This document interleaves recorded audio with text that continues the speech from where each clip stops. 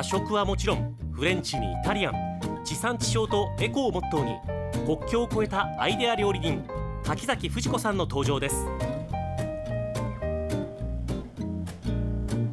柿崎さんよろしくお願いします。よろしくお願いします。さあ今週のテーマは春に食べたい野菜レシピということで今日使う野菜はこちら。カリフラワーです、はい。なんとなく冬のイメージがあるんですそうですね、はい。冬のイメージありますけれども冬鳥で四五四五月が美味しいんですよね。あ、なるほど、はい。まさにじゃあ今の時期美味しいんですね。はい。このカリフラワーを使って作るメニューはこちらです。カリフラワーの肉団子あんかけということで、はい。この肉団子の断面お分かりですかね？カリフラワーを丸ごと肉団子で包んでしまうという、はい、非常に食べ応えもありますし、お弁当にもおすすめとなっています。さあ、それでは早速クッキングスタートです。はい、まず野菜の下ごしらえからしていきますけれども、もうすでにねカリフラワーもブロッコリーもはい。小房に分けてますので、これでさっと茹でていこうと思います。はい。さあ。下茹でですはい。ね。、で生でね、そもそも食べられるものですから、はい。本当にさっと茹でていただくだけでいいのかなって感じですね。はい。はい、ありがとうございます。これ川村さんはカリフラワーとブロッコリーだったらどっちがお好きですか？あー迷いますけどカリフラワーの特別感はい。が好きです。あ、そうですか。本当に？なんかカリフラワー特別感ありませんか。カリフラワー派？意外と。本当？はい。なんとなく世の中はブロッコリーの方がねそうえ人気があるイメージあかりますけどカリフラワーが例えばシチューとかに入ってたらうんテンションがそうですね、贅沢ですね。さあ、このくらい、はいさっと茹でていただきまして、揚げときまし栄ょう。養的にもカリフラワーどうなんですかそうなんです。あのね、キャベツのね、2倍のビタミン C があるんですね。ですから2倍？侮れないんです。はい、ありがとうございます。はい。白いからついつい栄養がなさそうに見えますすけどねはい。次ですけれども、今度は白ネギを切っていこうと思います。はい。はい。で、中を取りまして。はい。これで長さ4センチの白ネギ、は中心部を出しましはい、こちて、らを白髪ネギにしていきますけれども、あまりね大胆に動かすと太くなるんですね。ですから同じところを叩くような感じでこうすると割と細く切れますね。細いですね。このくらいでいいでしょうか。まあこのくらいでばいいですね。天物ですから。さあ大丈夫ですか？それぐらいではい大丈夫です。はい。水にこれは上にさらしておきましょう。飾ります。白はい。髪ネギ水にさらしておきます、残りははい肉団子に入れていきますから、みじん切りにしていきたいなと思うんですね。ははい。い、中心部分も合わせて、切っていきみじん切りにしていきます。はい。さあこれを切っていきましょうあでも白髪ネギがちょっと上に乗るだけでね、ですね。ごちそう感がねありますよよね。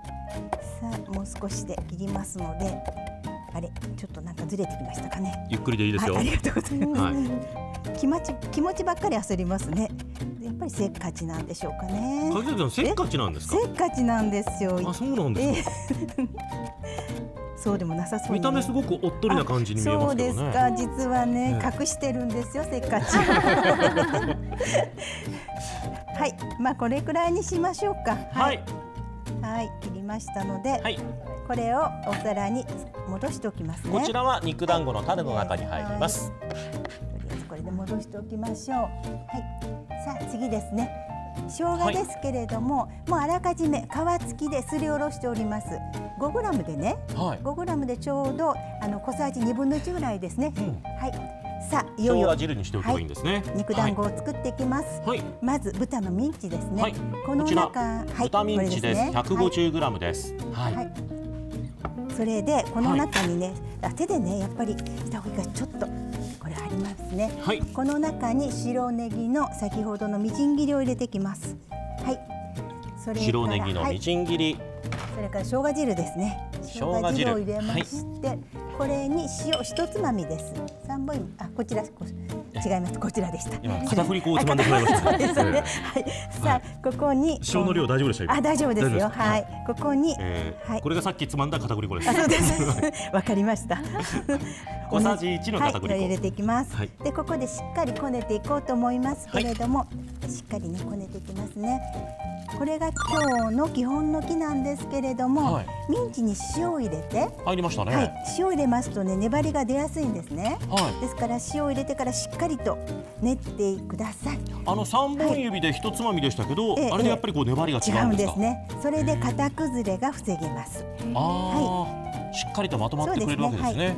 今日はこの肉団子でカリフラワーを包みますそうんでです型が崩れたら困りますそもんうですね。中が見えないようにねできればはい。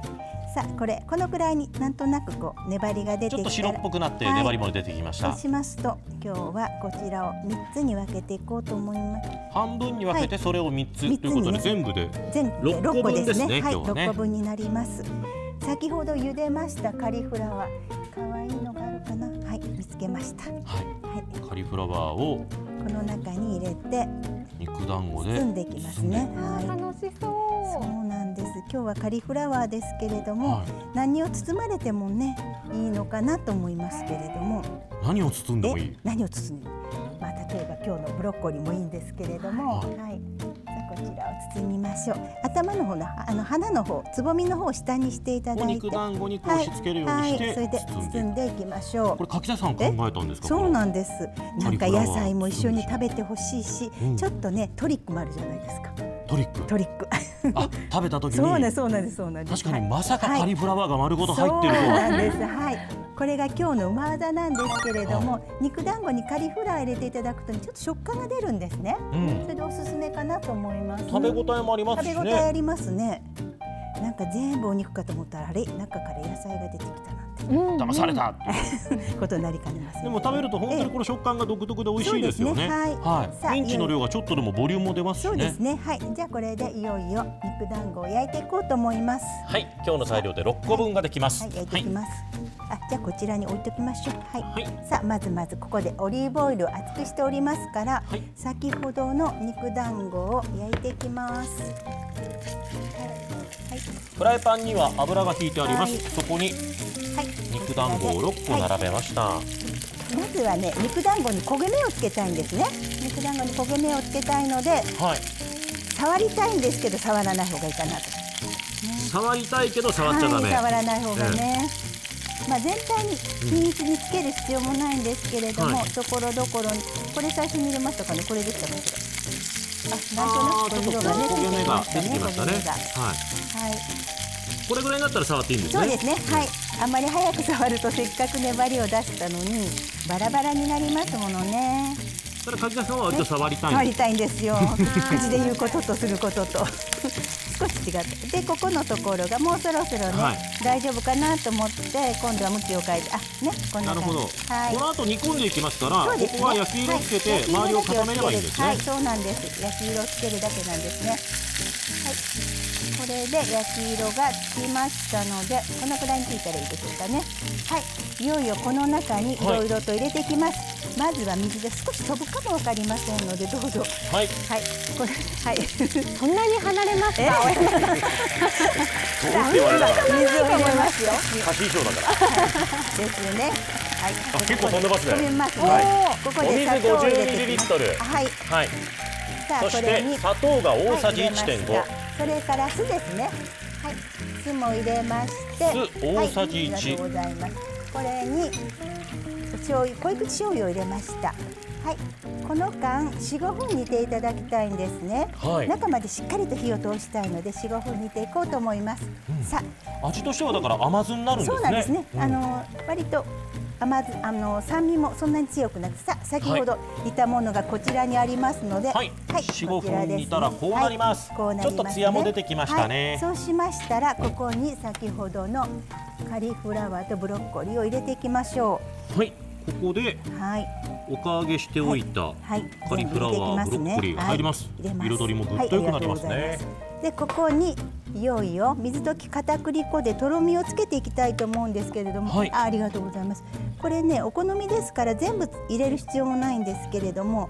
今日は片栗粉小さじ1はい。に対し水10ミリリットルの水溶き片栗粉あらですかじめあの水溶きを水をで溶いておきました。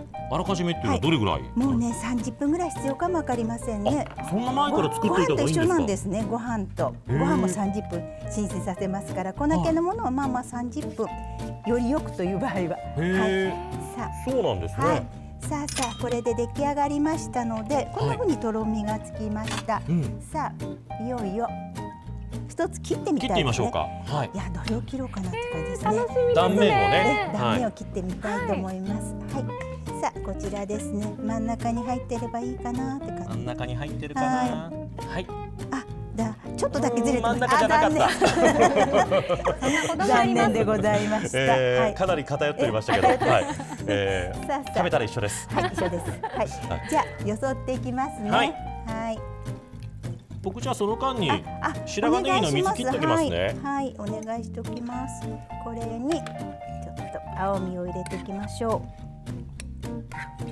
これでも本当あの汁気も少ないですし、う。そうなんです。お弁当にはもってのおこいですかずにね、ね。でとろみがつきますからね、汁も出ませんでしょ？ね、だからおすすめですね。さあ、こんな感じで。ちょっと切ったの乗せますね。せっかくですから。あそうですね切ったの、ね切ったのはい、はい切ったの乗せましょうこの辺にこの辺に乗せましょうか。この辺でしょうか。どの辺がいいですか。この辺ですか。この辺にしましょう。はい。はいさあこれにありがとうございます。はい白髪ネギをトッピングしますね。はい、ありがとうございます。このあたりせっかく切ったのが隠れない程度にはい出来上がりですかね。はいは断面見えるかなあ見えますね大丈夫ですか？あ美味しそうはいカリフラワーの肉団子あんかけ完成ですさあ今日の材料はご覧のようになっています。ポイントです。カリフラワーは冬から今の時期までが旬なんですね。大きめの肉団子を頬張れば中からカリフラワーが顔を覗かせます。え肉団子を作る際はミンチに塩を入れて粘りを出して型崩れを防止します。彩りにブロッコリーも加えてあんかけにしました。お弁当にもおすすめです。ぜひ皆さんも作ってみてください。ワクワクしますね。はい、カリフラワー好きの川村さん。はい。どうぞ召し上がりください。いただきます。わあ楽しみ。まあだから食感ですよね。い。そうですはい。ね。えーはい。肉団子だと思って食べた後の食感、